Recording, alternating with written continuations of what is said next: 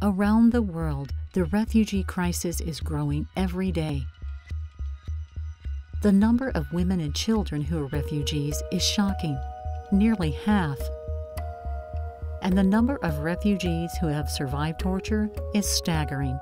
CVT, the Center for Victims of Torture, estimates that in the United States alone, nearly half of refugees are survivors of torture. That's up to 1.3 million people. Many of these individuals and their families are in desperate need of rehabilitative care.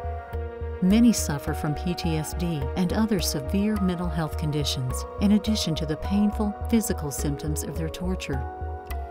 CVT is the recognized expert in highly specialized care, counseling, social work, physical therapy, and more.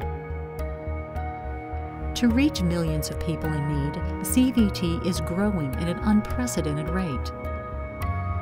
CVT has doubled its size in the last four years.